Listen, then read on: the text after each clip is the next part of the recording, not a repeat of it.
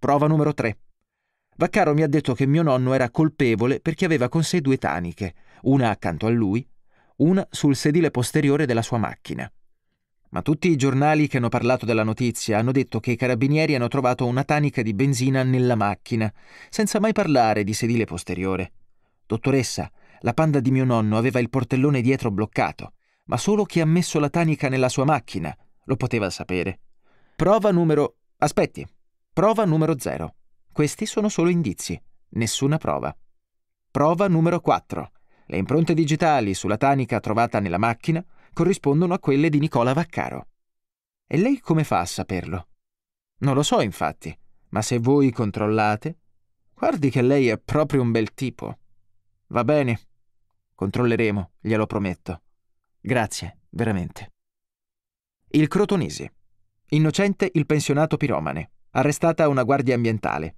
Svolta nelle indagini sull'incendio doloso del 17 luglio scorso. In un primo momento la responsabilità dell'incendio era stata attribuita a Vincenzo Riolo, il pensionato trovato carbonizzato nel bosco accanto a una tanica di benzina. I carabinieri hanno invece arrestato, con l'accusa di incendio doloso, Nicola Vaccaro, guardia ambientale di 47 anni. Le sue impronte digitali sarebbero state trovate sulla seconda tanica ritrovata nell'auto del pensionato. Cin Cin con questa nuova sede delle cantine Celiberti abbiamo deciso di investire sulla qualità. Qualità non significa solo qualità del prodotto, ma anche qualità del lavoro. Qualità del tempo che i nostri dipendenti dedicano ogni giorno al successo dell'azienda. Successo che deve essere anche il loro successo. E poi qualità dell'ambiente.